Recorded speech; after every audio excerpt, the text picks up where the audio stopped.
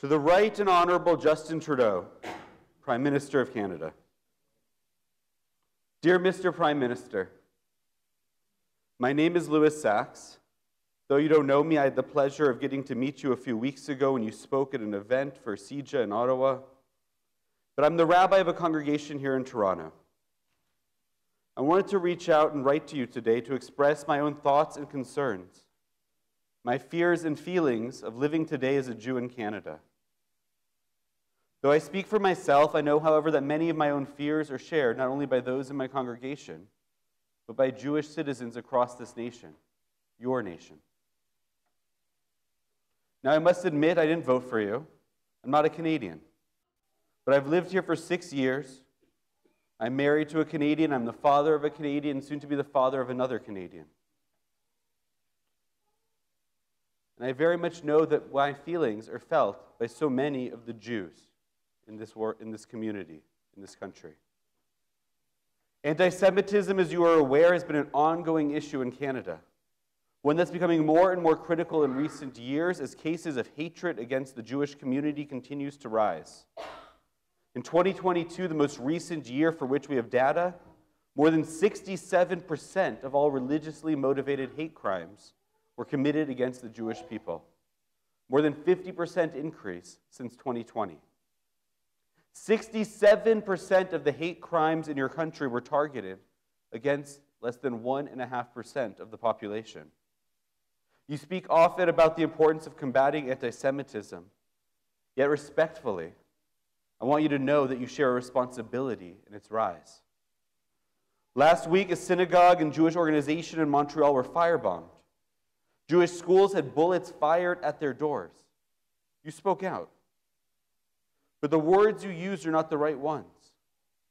The words you choose often inflame the hatred and division that continues to grow in Canada.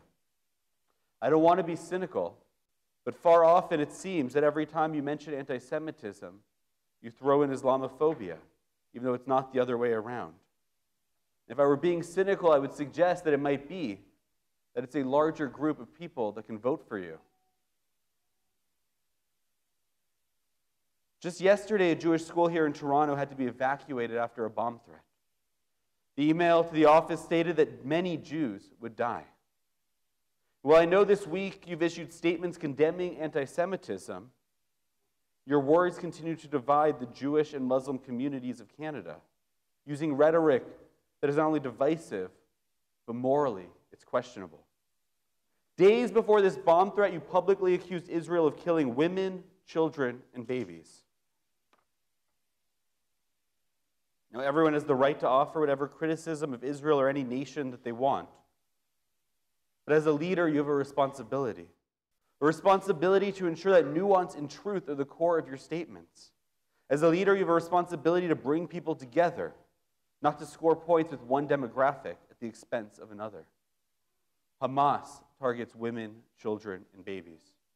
Your statements of equivalence are reprehensible.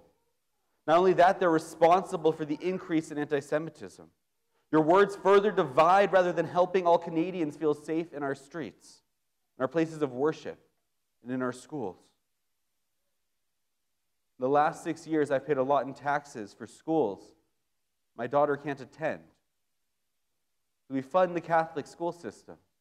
I pay for the public school system, and I choose to pay more to send her to a Jewish school, which now, because of statements like yours, costs us even more to have officers to protect, to have security, because of the constant threats they're receiving. Hamas deliberately targets women, children, and babies. Israel targets Hamas. Hamas hides behind women, children, and babies. In general, I've been quite impressed with the Canadian education system. But the moral math you and other leaders have expressed, is not only distorted, but dangerous. You know there, this already. You know already there are those that are targeting the Jewish community in Canada because of what's happening in Israel. And yet you, you know this. And you continue to make statements that will only increase that hatred and that divide. Canadian Jews are afraid. It's in the lifetime of members of my synagogue who witnessed when the St. Louis reached the shores of Canada, when Jews were fleeing the persecution of Europe, the Nazi gas chambers. That Canada responded by sending them back, back to be persecuted, back to be murdered.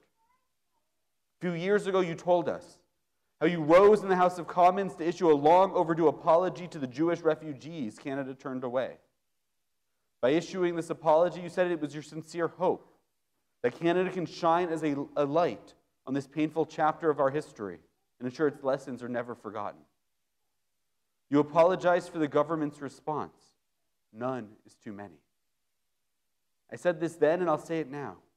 I don't want your apologies. I don't want your words on behalf of a government you weren't a part of. I want to see you and your government do better, be better. Sadly, I'm not seeing that. In the Jewish tradition, each week we read words from the Torah, from our sacred text. This week in synagogues, we read from Parshat Toldot the story of Jacob and Esau, brothers who fought, brothers who had hatred.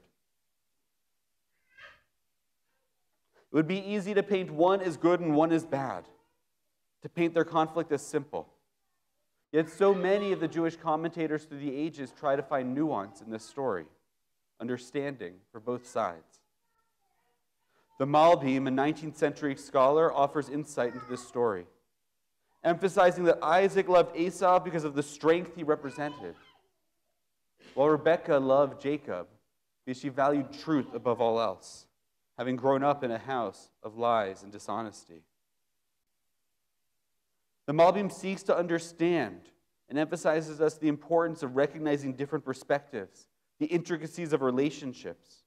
The lesson today is crucial, where narratives and actions are too often oversimplified. As Prime Minister, your words carry immense weight. They have the potential to shape perceptions, influence opinions, and in the worst of cases, justify hatred and violence. In complex geopolitical situations, it's all the more important for our leaders to act responsively, to speak with knowledge and understanding. Simplistic and inflammatory rhetoric that fails to acknowledge these complexities serves only to exacerbate tensions and divisions. The leader in the Jewish community have often pushed my congregation to think about the other side, to think about those innocent Palestinians who are victims of this conflict.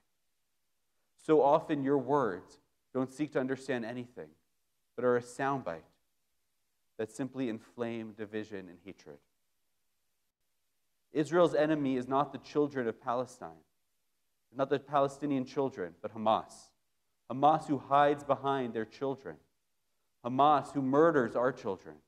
Hamas who so violently attacked, so barbarically attacked Israel on October 7th that it took until this week to find out that one of Canada's own, Vivian Silver, was murdered on October 7th rather than kidnapped. Because her remains, like the remains of so many, were so disfigured. It took this long to find her. Your responsibility extends beyond addressing past mistakes of governments before you. It involves ensuring that your statements and your government not contribute to the very hatred and division we're striving to overcome. As a leader, your words have the power to either bridge divides or to deepen them. I urge you, Mr. Prime Minister, to consider the impact of your statements on all Canadians, including the Jewish community. In a time when Jewish Canadians feel increasingly unsafe, it's imperative that our leaders speak with accuracy. It's imperative that our leaders speak with sensitivity. It's imperative that you speak with a commitment to bring people together rather than driving them apart. I ask for you to please reflect on your actions and your deeds, on your words. I ask you to do better and to be better. I ask for your leadership to show truth and nuance, to seek to unify our diverse nation, to help all of us to live in a Canada where each community feels safe, respected, and valued. Thank you. Shabbat Shalom.